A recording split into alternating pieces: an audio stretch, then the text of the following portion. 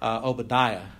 And uh, there was a passage in Obadiah that talks about how Obadiah, under the inspiration of God, um, pronounced a curse of, upon the Edomites. And the question was uh, concerning the issue of when the uh, people of Israel were overthrown, uh, who were the people that overthrew Israel during the time of this writing?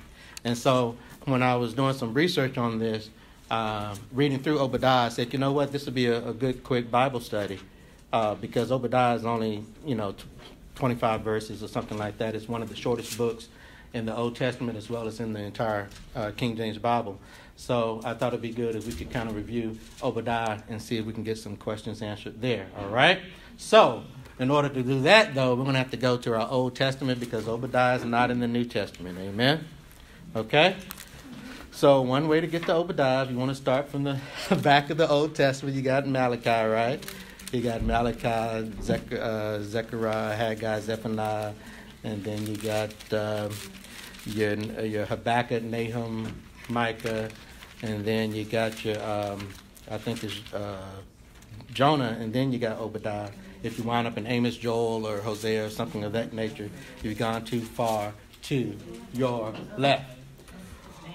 Amos, Amos and Obadiah. Huh? Joel, Amos and Obadiah. That's that's if you're going from left to right, not from. I was going backwards Micah, Because Jonah. you're not right. because it's easy to get to. I didn't want to start from Genesis. That's why I started from Malachi. Okay, but you're right. You got Amos Obadiah. Uh, you got Joel, Amos, Obadiah. Yeah, correct. Okay, but are we able to find Obadiah? Sometimes it's easy to miss because it's a small chapter. One chapter. Yeah, and it's got 21 verses. I stand corrected. I said 25. It only has 21 verses. So Obadiah is kind of a hard hard book to find sometimes. But um, Obadiah is, a, is an interesting book. Um, Obadiah, just it says the book of Obadiah. Obadiah was actually a very common name back in the Old Testament. As a matter of fact, you could track anywhere from eight to ten different Obadiahs in the Old Testament. Um, I do not know which Obadiah is actually here uh, that wrote this particular text, if he's one of the eight to ten Obadiahs in the Old Testament, or if this is a totally different Obadiah, uh, because he really doesn't give a time, a time frame of when uh, he wrote this. A lot of uh, these minor prophets, when they write, they'll say, "In the days of Uzziah the king," and blah blah blah, and they'll give you some kind of hint as to when the the text was actually written. Here, it doesn't give us that information. It just goes straight into a pronouncement of judgment upon the children of Edom. All right. So we okay with that so far? Now uh, there's a there's a lot that we're going to reference here, and um, Edom is this area down here. All right. Now Edom at the time it was sort of like a, a vassal state, or it's kind of like I don't know, Guam or Puerto Rico is to the United States. It wasn't a state, but it was a province or it was under the rule of the United States, if you will. And so it's its own nation, uh, but they were beholden unto Israel and, and Judah. Israel and Judah kind of ran the show. And the people of Edom didn't like that uh, too much. But however, we're going to discover in Obadiah what happened was that when the children of Israel, particularly Judah, when they were over when they were overthrown, the people of Edom got excited about it because they didn't like being under the thumb of Israel and Judah. And as a result, uh, God didn't like that because God said that you're not supposed to get excited when, when my people are being you know, oppressed or attacked or persecuted and things of that nature. And you say, well, how does that apply today? Well, guess who's God's people today? We are, the church. Amen. We just read in 1 Peter 2 that we are a peculiar people, that we are a royal priesthood, all right, that we are the children of God, all right, so we're God's people. And so when we're mistreated, guess what? God's going to take note of that as well, all right? So let's uh, get into this real quick. We'll go, it's only 21 verses. and if we're all there, I'll begin reading. It says, The vision of Obadiah, thus saith the Lord God concerning Edom. We have heard a rumor from the Lord, and an ambassador is sent among the heathen. Arise ye, and let us rise up against her in battle. Now, I got to stop right there. I, I, I want to go further. I really do. But I got to get some of these questions answered. What's the what's the vision? It says the vision of Obadiah. What's the vision? Huh? It's it's it's uh, a future. Yeah, it's like seeing into the future. Prophets were called. You see in the uh, in the especially in the Old Testament, prophets were called seers because they could see things into the future by by way of the, the Holy Spirit, of course. S E E R, seer. They were called seers. Yeah. Now you had really two major ways in which these prophets saw things in the future. You had what they call visions, and you have dreams. Right now, and, and it's pretty it's it's pretty simple. A vision is something that generally. you heard that okay, a visit is something that can generally happen even during the day, and then uh, a dream is something that generally happens at night when you t- have a dream. The Old Testament Joseph, he had dreams, right? So that was during the night of when he was asleep and he had a dream. A vision is something that can happen while you're actually awake and you see something. So it basically, if the Lord is in it, is giving you a glimpse into the future. All right. But that's what I meant by, you know, what's the difference between a vision or a dream or what is a vision? It's something that you can that is given to you even during the day. Now, what's interesting here also is, is that a lot of times when the prophets speak, and you'll see this a lot in, in text, Old Testament and New Testament, a lot of times when the prophets spoke, they speak as though the event has already happened when it didn't. And we're going to see language in here where it's going to be all past tense. So even though there's a prophecy being given, it really hadn't happened yet, but the prophet will talk about it as though it's already happened, which is okay to do because when God says something's going to happen, it's going to happen regardless. Amen. Okay. So uh, the vision of Obadiah, we, we don't know quite who Obadiah is here, um, but we'll, we'll get into that a little later. It says, Thus saith the Lord God concerning Edom. Now, who is Edom and where did Edom come from? Edom is a nation. Who is Edom? But who started Edom? Who is Edom and where did Edom come from? Well, we get the answer in Genesis 5. Go back to the first book of the Bible. Go back to the book of beginnings. Uh, Genesis 25, excuse me. Genesis 25. First book of the Bible, Genesis 25. First book of the Bible, Genesis 25. And we'll f- figure out where Edom came from. Uh, Do, do, do, do, do, do, do, do, do, do, do. Okay, let's go to Genesis. Are we in the first book of the Bible? Okay, I want you to start. We're going to start at verse 21, okay? Are we there? Okay, Genesis 25, 21. It says, And Isaac, who's Isaac? Abraham, Isaac, and Jacob, right? That's this Isaac is is Abraham's son. Okay. Now Isaac married this lady named Rebecca. Guess what? Rebecca's barren. But but because they prayed to the Lord, God's going to bless them with the child anyway, right? We talked about this before. 100% of the women in the in the Bible who were barren, who prayed for a child, God gave them at least one child, if not more. That's that's just a fact of the Bible. Um, reading uh, Genesis 25, 21, it says, And Isaac entreated the Lord for his wife because she was barren, and the Lord was entreated of him, and Rebekah his wife conceived, and the children struggled together within her. And she said, If it be so, why am, am I thus?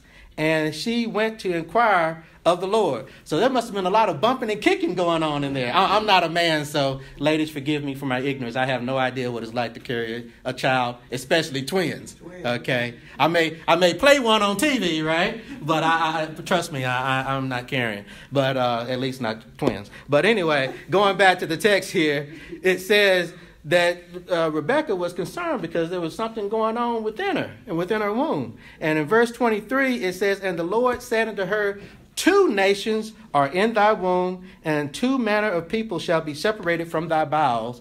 And the one people shall be stronger than the other people, and the elder shall serve the younger. And when her days to be delivered were fulfilled, behold, there were twins in her womb. And the first came out red, all over like a hairy garment, and they called his name Esau. And after that came his brother out, and his hand took hold of Esau's heel, and his name was called Jacob. and Isaac was threescore years old when she bare them. All right? Now, um, well, I'll go ahead and read the rest of it. Uh, it says, and the boys grew, and Esau became a, a, a was a, a, cunning hunter and a man of the field, and Jacob was a plain man dwelling in tents. And Isaac loved Esau because he did eat of his venison, but Rebekah loved Jacob. And Jacob sod pottage. Now these are old time 1600, you know, 1611 King James Bibles where sod means to boil or to seethe something. And pottage, that's just another word for broth or soup or stew or something of that nature. That's what pottage means. So Jacob sod pottage, and Esau came from the field, and he was faint. And Esau said to Jacob, Feed me, I pray thee, with that same red pottage. So the pottage was red. I don't know if he had tomatoes in it or whatever, I don't know. But it was red pottage, red soup, red broth, whatever it was. He said, For I am faint. Therefore was his name called Ta-da! See how the Bible answers itself? Okay. Now I would have thought he would have been called Edom when he came out of his mother's womb because they said he was red then, you know. But then he wasn't referred to as Edom until he partook of this red soup or this red pottage or stew or whatever it was. Verse 31 of Genesis 25, it says, And Jacob said, Sell me this day thy birthright. And Esau said, Behold, I am at the point to die, and what profit shall this birthright do to me? And Jacob said, Swear to me this day. And he sware unto him, and he sold his birthright unto Jacob. Then Jacob gave Esau bread and pottage of lentils. Lentils is another word for some type of vegetables, or I'm sorry? Beans. Oh, yeah, like beans. Yeah, something of that nature. Yeah, we even use that word today. How about that?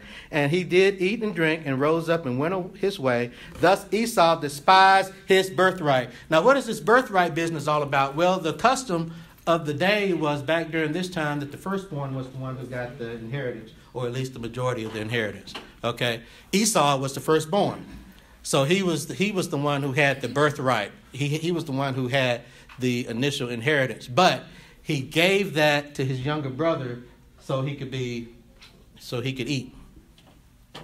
All right. So he sold his birthright to Jacob. So now Jacob was to get the inheritance instead of his older brother, which was traditionally how things were done, where the oldest child was the one who, who got the inheritance, or at least the majority of the inheritance. All right? And it said from that day forth that uh, Esau despised his birthright. Well, we know that Jacob went on to be uh, um, uh, the, a father of the, uh, he later went on to be Israel and the father of, of the 12 tribes of Israel. And then we also know that the lineage of Jesus came through Jacob and not Esau. So Esau gave up his birthright. Who knows what all he gave up? But God already knew what was going to happen before it happened. He already knew the decisions that these people were going to make. Now, some Calvinists will say, well, you see, God had already predestined Jacob for this and he had already had this figured out. No, God knew what was going on. But you have to keep in mind, Esau still had free will. Esau did not have to sell his birthright. No one, you know, put a gun to his head and say, "Sell your birthright to Jacob." Esau made a conscious decision to do that. God just knew the decision that Esau was going to make. So this is not some type of predestination or Calvinism or anything going on. This is just showing you the omniscience of God and Him knowing what's going to happen before it even happened. Okay? So, because now we know the link here, Genesis 25 tells us that Esau is going to later get married and have kids and all that kind of stuff, and it's going to lead to the nation of Edom. Because God said there's going to be two nations and they're going to be struggling with each other. And they've been struggling with each other literally since before they were born. Because when Esau came out of his mother's womb, they said Jacob was hanging on to him. so they were fighting the whole time. Okay. Now, um, let's look at one other reason. Let, us look at one other passage of scripture, and then we're going to have to dismiss because we want to prepare for the rest of the worship. I want you to uh, leave the first book of the Bible that talks about Esau and Edom, I want you to go to the, the, the last book of the Old Testament, which is what? Starts with an M. Malachi. All right. Who also sings in the choir. All right. Looks good to, to, to be that old, huh? Okay. We're going from the first book of the Old Testament to the last book of the Old Testament. And I want you to look at the very first verse. I want to show you the importance of Esau and Edom here. Because you know he's uh, the Edomites are talked about throughout Scripture, and we'll learn this a, a little later. Um, Malachi one, are we there? Mm-hmm. Look at the very first three verses of Malachi 1. It says, The burden of the word of the Lord to Israel by Malachi. I have loved you, saith the Lord. Yet ye say, Wherein hast thou loved us? Was not Esau Jacob's brother, saith the Lord? Yet I love Jacob. Verse 3 And I hated Esau and laid his mountains and his heritage waste for the dragons and of the wilderness. And then uh, let's see, verse 4. Let me see if I can throw that in here. Verse 4 Whereas Edom saith, We are impoverished, but we will return and build the desolate places. Thus saith the Lord of hosts They shall build, but I will throw down. They shall call them the border of wickedness, and the people against whom the Lord hath indignation forever. So let's go back to uh, verse number 3. A lot of people have problems with that verse number 3 because it says that uh, Esau hated Jacob. And you say, well, I mean, I'm sorry, that the Lord, Esau hated, I messed that up, that the Lord hated Esau, excuse me, and that he loved Jacob. All right? And you say, well, where did that come from? Well, this pronouncement was done uh, here in Malachi, this pronouncement was done after the children were born. So this is not God saying before they were even born, I hate Esau.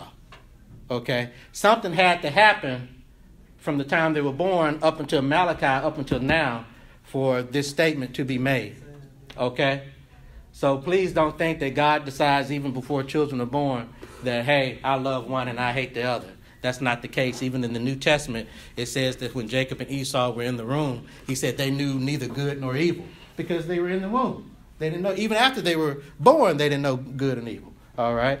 But you say, why is it that this statement is in here? Well, Obadiah is the only book of the Bible that gives specific information on why God had a problem with Edom. Okay. Now there are many places in the Bible where the Edomites and and, and the Israelites clashed. But Obadiah, Obadiah, Obadiah, Obadiah gives specific information as to why the Lord had a problem with uh, Edom. And I got to go. But let's turn to one other place because you, you, you know I, I, don't know when to quit. Um, turn to the book. I don't. Y'all got to pray with me about that. Turn to the book of Psalms, then turn to your right in Proverbs.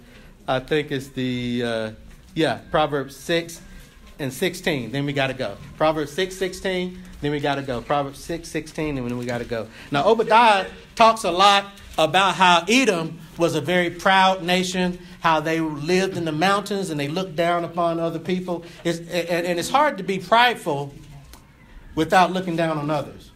You can say, man, I got this and I'm doing that and I got that, but it's hard to do that without at the same time saying, you don't have what I have. All right. So um, Proverbs 6 and 16, then we got to go. These six things doth the Lord what? Hate. Hate. Yea, seven are an abomination unto him.